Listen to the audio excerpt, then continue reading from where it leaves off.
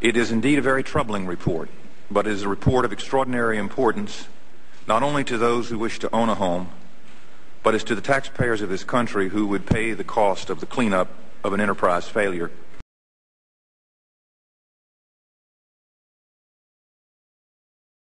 The analysis makes clear that more resources must be brought to bear to ensure the highest standards of conduct are not only required, but more importantly, they are actually met.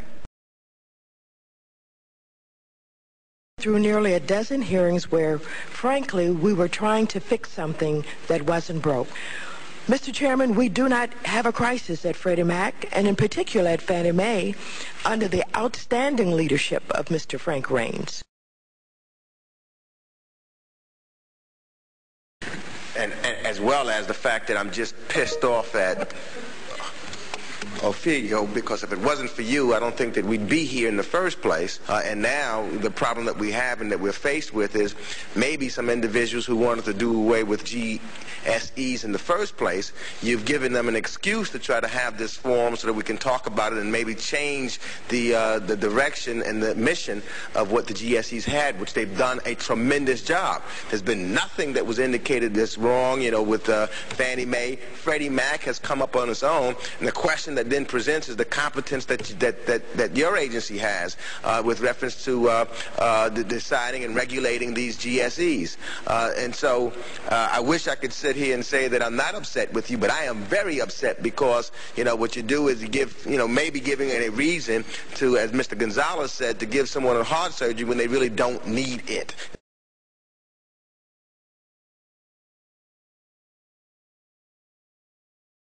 In addition to our important oversight role in this committee, I hope that we will move swiftly to create a new regulatory structure for Fannie Mae, for Freddie Mac, and the Federal Home Loan Banks.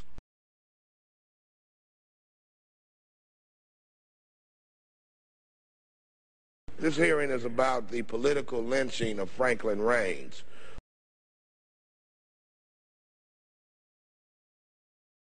There is a very simple solution. Congress must create a new regulator with powers at least equal to those of other financial regulators, such as the OCC or the Federal Reserve.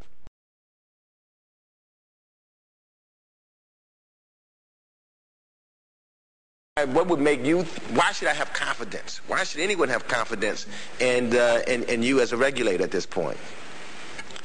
Sorry, Congressman. OFHEO did not improperly apply accounting rules. Freddie Mac did. OFHEO did not try to manage earnings improperly. Freddie Mac did. So this isn't about the agency engaging in improper conduct. It's about Freddie Mac.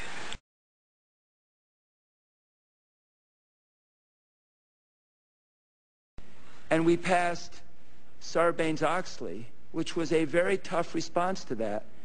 And then I realized that Fannie Mae and Freddie Mac wouldn't even come under it. They weren't under the 34 Act. They weren't under the 33 Act.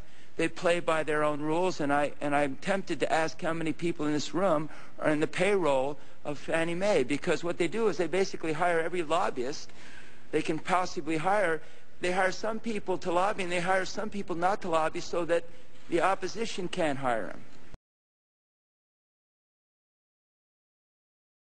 But a concern that I have is you're making very specific what you have correctly acknowledged broad and categorical judgments about the management of this institution, about the willfulness of practices that may or may not be in controversy.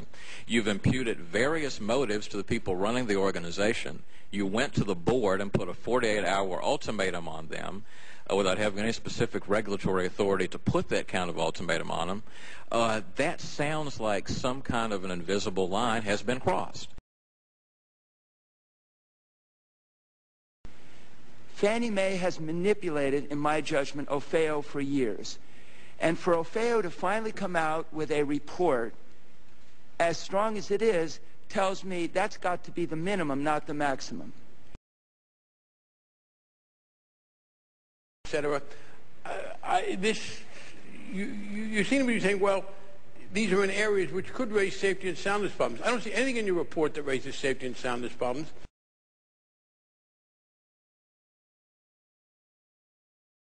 under the outstanding leadership of Mr. Frank Raines. Everything in the 1992 Act has worked just fine. In fact, the GSEs have exceeded their housing goals.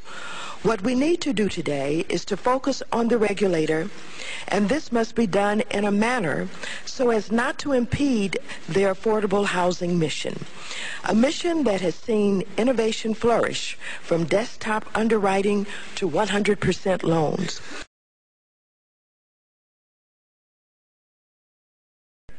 I find this to be inconsistent and a, and a rush to judgment. I get the feeling that the markets are not worried about the safety and soundness of Fannie Mae, as OFHEO says that it is, but of course, the markets are not political. But I have seen nothing in here that suggests that the safety and soundness are an issue, and I think it serves us badly to raise safety and soundness as a kind of a general shibboleth when it does not seem to me to be an issue. Mr. Raines, 1.1 million bonus on a $526,000 salary. Jamie Gorelick, $779,000 bonus on a salary of 567,000. I mean, this is what you state on page 11 is nothing less than, than staggering.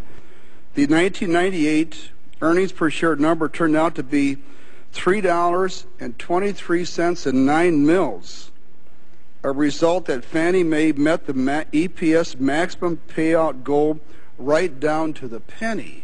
Fannie Mae understood the rules and simply chose not to follow them, that if Fannie Mae had followed the, the practices, there wouldn't have been a bonus that year.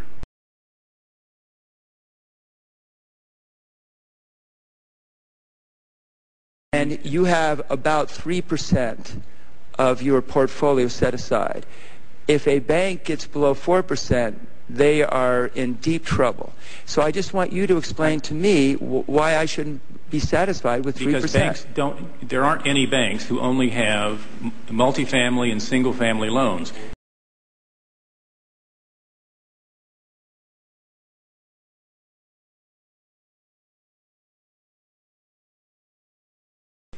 These, assets are so riskless that their capital for holding them should be under 2%. Fine.